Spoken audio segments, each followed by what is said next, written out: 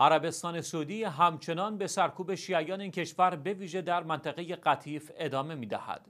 یکی از فعالان حقوق بشر اهل قطیف با شناسه ناشط قطیفی در توییتر خود نوشت نیروهای امنیتی عربستان یک جوان شیعه را بازداشت و به مکانی نامعلوم منتقل کردند.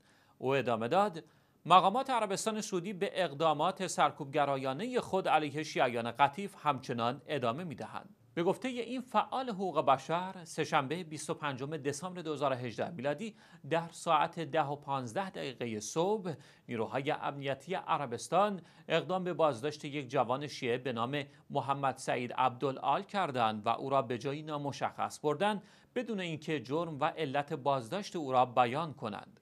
تا به حال صدها تن از شیعیان عربستان به این شیوه و به صورت غیرقانونی بازداشت شدند.